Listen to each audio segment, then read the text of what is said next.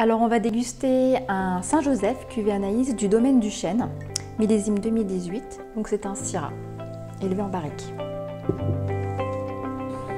Donc on a une, belle robe pourpre euh, bien intense, très brillant. a très jolie note épicée au nez.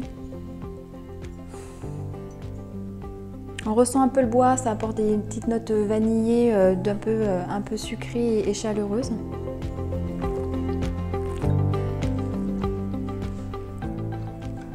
On a une attaque très fine, beaucoup de finesse. Par contre, on a une structure tannique euh, assez consistante, ce qui donne beaucoup de caractère au vin finalement.